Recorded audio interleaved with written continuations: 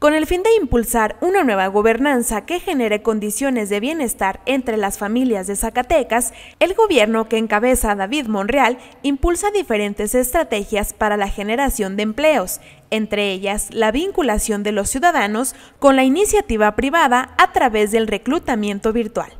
Por medio de la Subsecretaría del Servicio Nacional del Empleo, la empresa Servimolina ofrece espacios en el municipio de Fresnillo para ingenieros industriales o de minas, soldadores, fontaneros, electricistas y personas para servicios generales.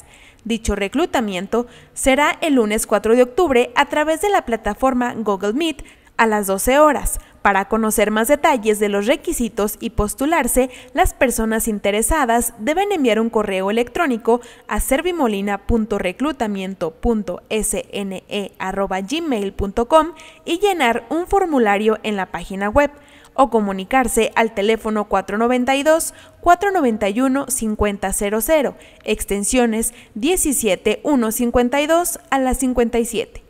Los espacios laborales a cubrir son en Fresnillo y para hombres, soldador, fontanero, servicios generales y electricista.